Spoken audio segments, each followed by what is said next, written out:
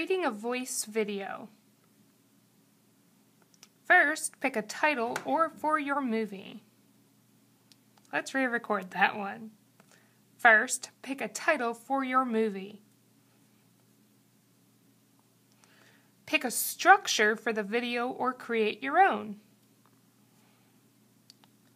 Select a slide layout and repeat for each slide if needed.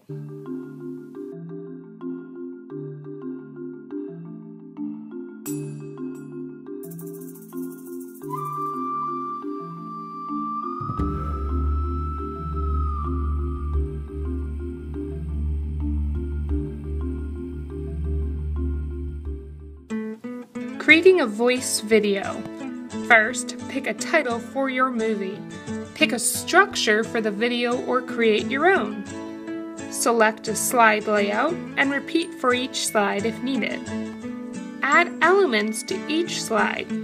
These can be icons, photos, text, or a combination. Pick a theme for the video.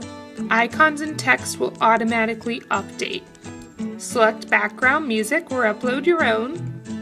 Record your voice for all the slides. A tip is to do this for all slides at once rather than recording individually. Then it's time to preview the video.